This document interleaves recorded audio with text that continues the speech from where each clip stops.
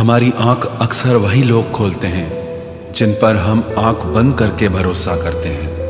ख्वाहिश भले ही छोटी हो, लेकिन उसे पूरा करने के लिए दिल जिद्दी होना चाहिए। जो चीज़ आपको चैलेंज करती है वही आपको चेंज कर सकती है। मेरे अपनों ने धक्का मारा मुझे डुबोने के लिए। फ़ायदा ये हुआ साहब, मैं तैरना सीख गया।